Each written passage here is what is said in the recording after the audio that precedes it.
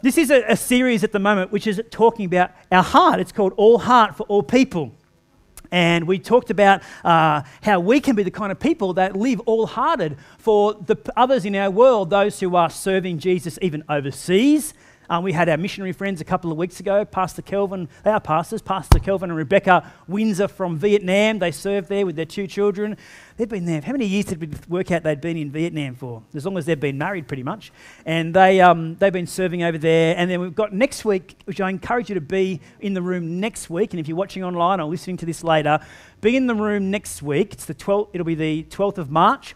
And it is our uh, special service with our other missionary family that we support, Paul and Deb Hilton. And they'll be here in the room, and we'll be able to hear from them about all the work that they are doing overseas. They're more than, they pioneered the work in Vietnam that Kelvin and Rebecca are now carrying on, but they now work across the globe in other countries, mentoring other missionaries. And so they've got a vast and wide uh, amount of experience for us to hear from. So it's going to be a lot of fun next week. So I would encourage you to be in the room for that. So, this is an all heart for all people. And those kinds of missionaries who are overseas doing amazing things in other countries, it is, I feel like, I don't know if you feel the same way as me, but it's very easy to be all hearted and love people who are going into the world overseas, giving up their lives and livelihood in li- not their lives, their livelihood in Australia, and sacrificing on the mission field.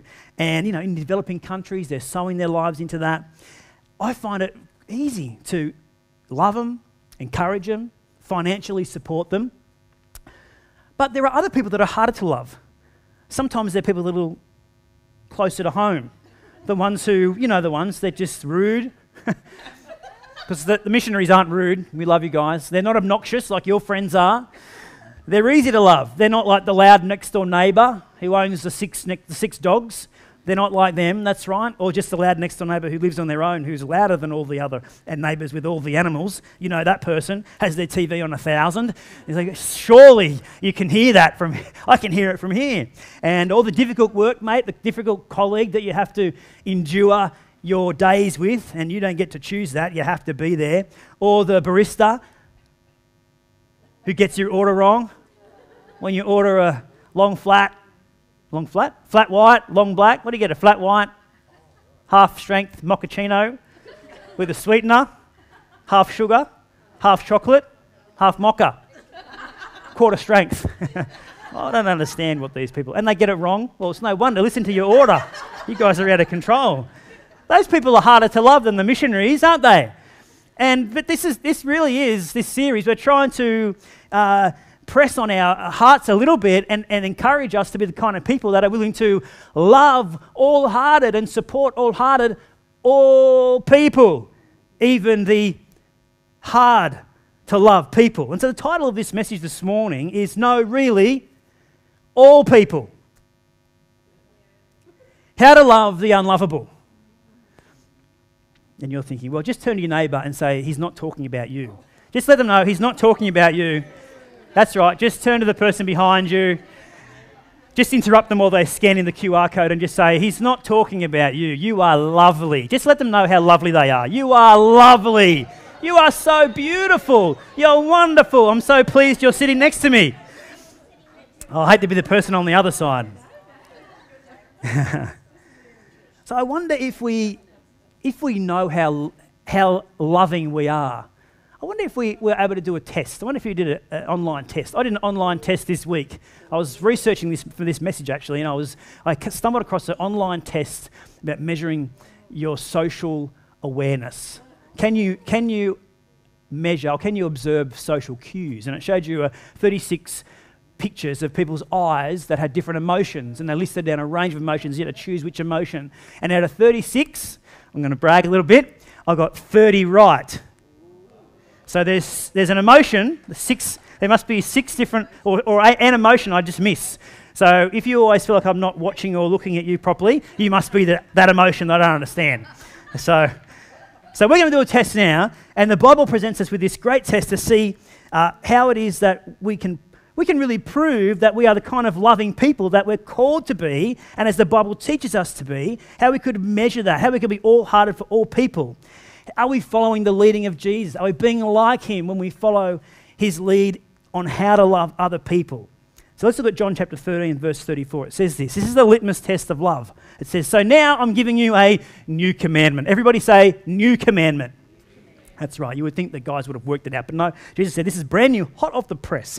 He says this love each other. Love each other. Just as I have loved you, you should love each other. He then says, You love your love for one another. Look what it says here. Your love for one another, or each other, will prove that's, that's, the, that's the test. This is what will prove that you are a disciple. It will prove that you are my disciples if you love one another. So, if you want to test to see whether or not you're heading in the right direction, loving like Jesus would love, which is to love everyone and give our lives over for them, then we simply have to ask the question How much do I love other people, even the unlovable? Because that will prove whether or not I'm following just like Jesus and loving others like him. And you know, not only do Jesus' followers love each other, they have a special place in their heart, just like Jesus, for the unlovable. So let's, let's just press on this challenge a little deeper before we talk about how we can be the kind of people that love others well. Matthew chapter 5, verse 43 to 47. Jesus again, this is the Sermon on the Mount, arguably the most profound teaching that was ever brought to the world in the history of the world. Today, our civilization, at least, is built upon the tenets that Jesus preached in Matthew chapter 5. And he says this in verse 43 I'm telling you to love your enemies. Oh, wow. That sounds even harder than loving the unlovable. Love your enemies. Let them bring out the best in you, not the worst. Come on, that's a, that's a word, isn't it? When someone gives you a hard time, Respond with the, I love this, respond with the supple moves of prayer. How good is that? When someone gives you a hard time, anyone in the room this morning had a hard time from some one of those unlovable, difficult people this week? Come on, put your hand in the air. It's, if, unless it's the person next to you, then just keep your hand down. put it in the chat online. You can make it anonymous that way, maybe. And so, respond with prayer, for then you are working out of your true selves, your God created selves. It goes on to say, verse 46 and 7, it says, If all you do is love the lovable, do you expect a bonus? Anybody can do that. If you simply say hello to those who greet you, do you expect a medal? You know, some people are like, hey, I'm kind, I'm nice. I, I, anyone that walks down the street, some people say this to me. They say, look, what's happened to the world? Whenever I walk down the street, nobody says hello to me. I'm like, okay, who do you say hello to? oh, good question. Okay, let's keep moving. If you say hello to people who walk down the street, okay, in a word, what I'm saying is this is, this is, this is Jesus. He says, in a word, what I'm saying is this on the screen grow up. You know what? Jesus is saying that to you today. I'm not saying that to you, it's Jesus. He's saying, guys, grow up. Online, don't shoot out. Grow up. listening back to this later, don't fast forward. Just in case you're listening in 1.5 times or two. Grow up. Jesus says. You are kingdom subjects. In other words, Jesus is saying there's a different way that you should be living. You don't live like the rest of the world lives. There's a standard that you are going to live by now, and it is a higher standard. It's a kingdom standard. He says, Live like the kingdom, carry the culture of the kingdom, live out your God created identity because it looks different to the way that the rest of the world treats each other. He says, Live generously and graciously toward others the way God lives toward you. You should stand out. You should be different. You should be peculiar. There should be something about you that marks you as a person of love as opposed to other people in your family, in your workplace, in your business, in your school. You are a person that carries a kingdom culture which is of a higher standard and you live by a higher expectation. You don't have to lower yourself to the cultural norms and low expectations of the world around you. You can stand up, rise up, and live above it because you carry the kingdom culture in your heart because you are an all hearted person that loves others, even unlovable people. Unlovable people. So, we've established that there are some people in our lives that are hard to love. We have some enemies in our world. However,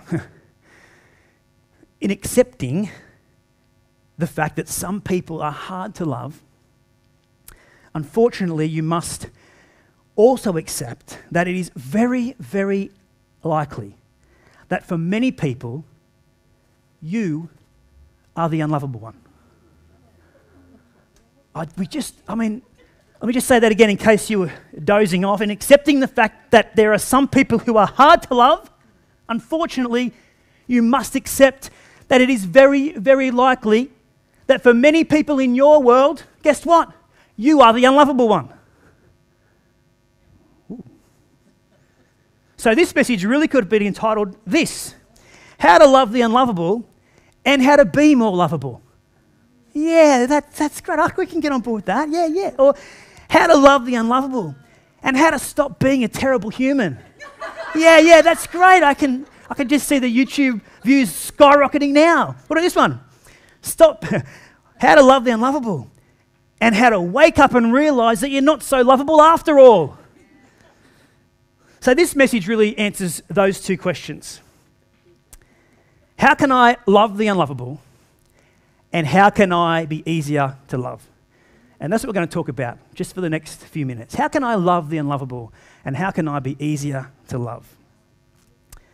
So, first, let's address the first question How do I love the unlovable? Number one, we say yes to Jesus' love for us.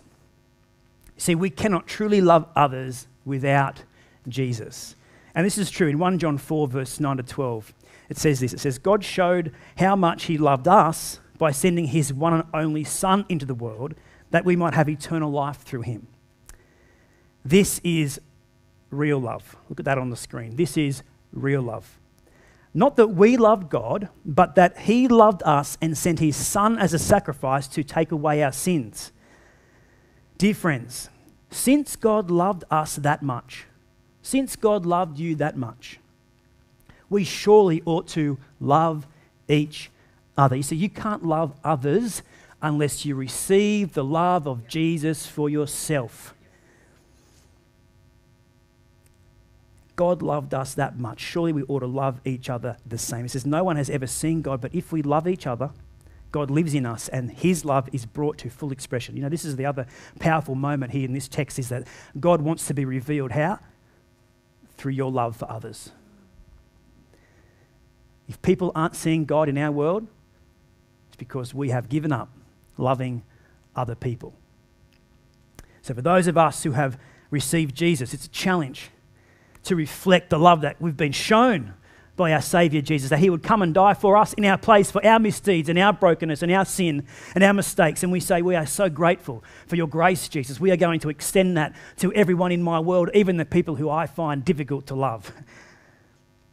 And for those of who are yet to receive Jesus in this room or online or listening later, for those who are yet to know what it is to have that free gift of salvation real in their life, I'm going to invite you in a moment to receive that for the first time. And it's going to shift the way you think about everything, like putting on a brand new set of glasses and seeing the world in a whole new way. And all of a sudden, most of those unlovable people you'll see can be loved because of what Jesus has done in you. So let's, first of all, receive that love that Jesus has for us. That's how we can love others. Secondly, how we love others is this. It's number two. This is part of my research that I was doing this week because I'm not very good at this particular point, but I know uh, that's why I've written, that's why I've entitled it this way Grow in empathy. Grow in empathy. You know, it's hard to just say to someone, you just need to be more empathetic because it's difficult. Trust me, I know.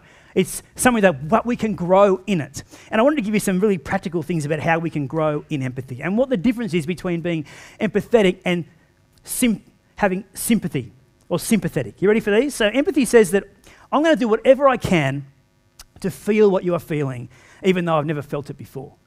I'm going to do everything I can to feel what you're feeling, even though I've never felt it before.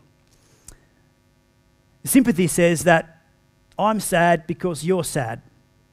But sympathy doesn't step into the shoes of your suffering with you. You see, sympathy just says, I'm sad because you're sad. But it doesn't say, I'm going to step into your shoes of suffering with you. You see, sympathy sends a card, empathy shows up at the door. Sympathy sends a card, but empathy turns up at your door. And so, how do we grow in empathy? Well, these are some practical things that we can do. And again, this is coming from experience of someone who's had to grow in empathy. Number one is that we can spend time with broken people. I wonder how much of your life you spend with the people you know, you like, you're comfortable with, the people who are in your workplace, in your sphere of influence, your social circles. I wonder how much time we spend with broken people. You know, one of the great things about church is that we intentionally put ourselves into an environment where we may not know who we're going to be sitting next to. And that's great, that's good. And up beyond church, we say that Nobody sits alone because we intentionally sometimes want to try to put people together who might not necessarily sit next to each other. Because it's not about you, it's about you growing in empathy so you can show the love of God to other people, even those who are unlovable, even those who are difficult, and even those who might just be your enemy. Come on, church is a great, is a great leveler. It's a great place for you to grow in empathy because you spend time with people who are not like you. And we can learn about the lives of others. Another thing that we can do to grow in empathy do the work to learn about the lives of others. You could do that by spending time with new people, walking up to someone at a party you've never spoken to before and saying hello, hearing their story. What do you do? Where do you come from? What was that like? Tell me more about that. You could do that if you're not necessarily out and about or a social person. You could read some books. I know, it's a revelation reading novels, stories of other people's lives that have experiences other than yours, who are from other countries with other worldviews, helps you understand that your world is bigger than just the one that you exist in day in and day out. There's a big world out there and lots of experiences of lots of people's lives. So come on, if we want to be the kind of people that love others and have grace for others, we do have to broaden our life experience. Reading helps us do that, or traveling helps us do that. You could go to another place, sure, maybe not even overseas. You could drive over the hill here from Cessnock, the uh, border between Cessnock and the rest of the world. It's called Neath Hill. You could drive over the border and you could explore the world, visit Maitland and Newcastle and maybe even Sydney one day. You know, you could get someone to take you there or catch the bus or the train. Read books, travel, broaden your mind. Big lives have room for difficult people. Small lives have no room for complexity. So come on, big people live big lives with big life experience. So it's an opportunity for us to be the kind of people that grow in empathy by doing whatever it takes to learn what other people are like. Number one is to receive the love that Jesus has for us. Number two is to do the work to grow in empathy. And number three is this it's to see the imago Dei. It's simply a theological term for the image of God. The image of God. See the image of God. Every person, even you, every person has been created by and in the image of God. Every single person. You think of the most difficult person in your life, your worst enemy. Yes, that's right. They have been created in the image of God. It is too easy for us to miss this powerful truth. Every person, every person has been created in the image of God. And God loves that person. God loves everything He created. He said, It is good. And He has got a special purpose for everybody. And nobody is in your world, let, me just say this nobody is in your world by mistake, not your parents. You, you weren't a mistake when you were born, and you haven't got the wrong parents. Your parents, they're not, they're not in your world by accident. Your boss is not there by mistake. The siblings you have have been uh, appointed into your family by God. Your co workers are there because God intends to use them and you to do something in and through you in that place. Your employees, if you're a boss, boss, or that barista that gets your order wrong every single week, they're in your world for a reason. What's God doing through all of these people that are difficult to love? Because when we see every single person through the eyes of God, that they have been created by Him, that they are image bearers, image bearers of the Creator of the universe. Something must shift in our heart toward them. If we love God, we love His creation. You know, when your kids come home from school with that clay model that they've made in their art class, and they tell you, Look, Dad, I've made you this coffee cup. You can have your coffee in this tomorrow. And you know you'll get poisoned if you drink out of that half baked clay cup that they brought home from school. But in the morning, you make a coffee and you spin the barrel. You play roulette with your life. and you drink the coffee and count to 10. And if you're still alive, you tell them, that was the nicest coffee I've ever had. Why? Because we love the one who created it. You and all your enemies and all those difficult people in your world have been handcrafted by the Master and are in your world on purpose. I wonder how we respond to those people that God puts in front of us. Finally, finally, I told you today that I was going to. Oh, let's, let's just do, let's skip that. Let's just go finally to this final thought. Time is up. Finally, I've talked about how we can love the unlovable. I said I'll, I'll let us know how we do that. We can do that by letting Jesus in, letting his love affect us in a way that we can only respond with love for others. Grow in empathy so we can understand the lives of others and not live in a small, narrow world. And also, Imago Dei, see God in others. But I also said that I would show us how we can be more lovable. How can I be a more lovable person? Let's make it easier for everybody else in the world. Well, the big answer to that question, my final point, is this. And it does both. It helps us to love others and it helps us to be. Number four, repent and forgive. Repent and forgive. Repent and forgive. If you want to be easier to love and be more lovable, repent and forgive. Proverbs chapter 17, verse 9, it says this Love prospers when a fault is forgiven, but dwelling on it separates close friends. You could also say dwelling on it makes you harder to love. You know, your willingness to forgive,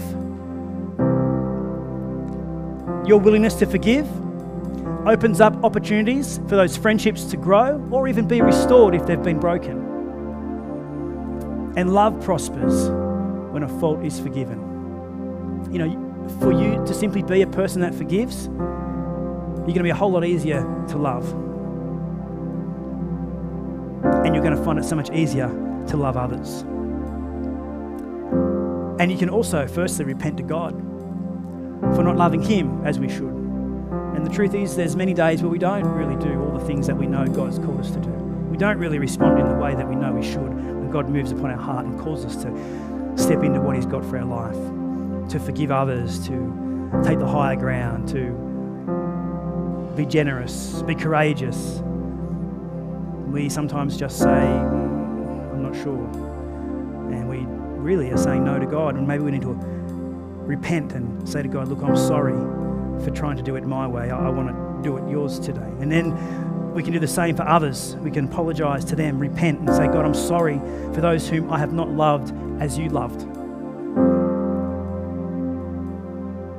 know, that's what Jesus said, didn't he? He said in Mark chapter 5, Sermon on the Mount, come on, it's about growing up. It's about growing up. Today we can mature a little in our heart, have an all hearted approach to all people, even the unlovable, even the enemies in our life, even difficult people. And we're going to pray a prayer right now. And as we do pray this prayer, it's going to, if you haven't before, it's going to invite Jesus into your life. But I've changed it up a little bit this morning, and for those online or listening later, I want this to be a holy moment for us, for those of us who want to really take this, particularly number point four, on board and repent and forgive. Because I reckon, and how do I know this? I've grown in empathy, and I know that I'm like this as well, that there are things in my life today that I need to repent of and just say sorry to God for. And as we do this, I'm just going to get the keys up as we do this.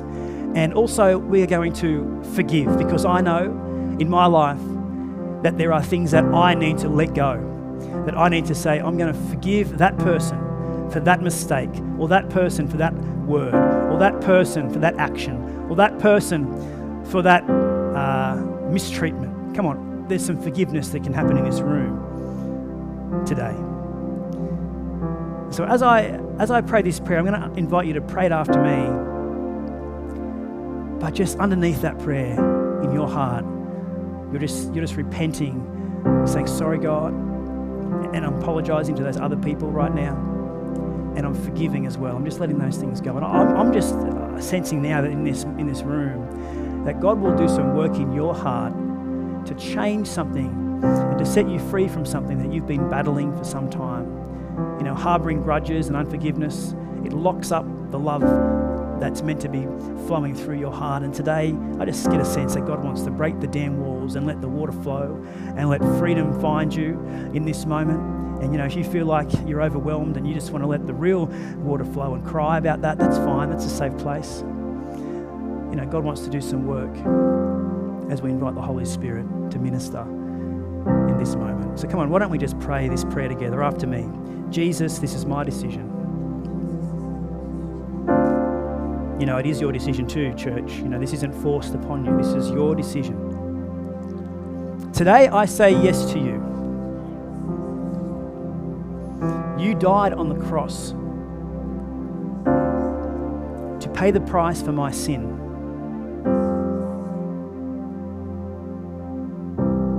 I invite you to be my Savior. Now, this next bit's powerful if you really mean it. You're going to say something in a moment that is, is, a, is, is massively powerful in terms of what, what happens in your heart. It's an invitation. You're about, to, you're about to invite Jesus to do something only He can do. So just repeat after me Come into my life. Forgive my sin. Oh God, we are so sorry. Forgive me for not loving you with my whole heart. Forgive me for not loving others with my whole heart. You know what, church? There's only one way that you can move from this moment and know that you are empowered to do all that God's called you to do, and that is with His Holy Spirit at work in you. So we're going to pray finally one more line of this prayer. And as we do, I'm just I'm just sensing in this moment it's going to just shift something in your spirit and it's going to bring joy to your life. It's going to remind you that it's not all about you. You haven't got to have all the answers, but you just need to invite one person into your heart to do the work with you. So come on, after me, why don't you say this? Fill me with the power of your Holy Spirit. Amen. Amen. Amen. Thanks, church.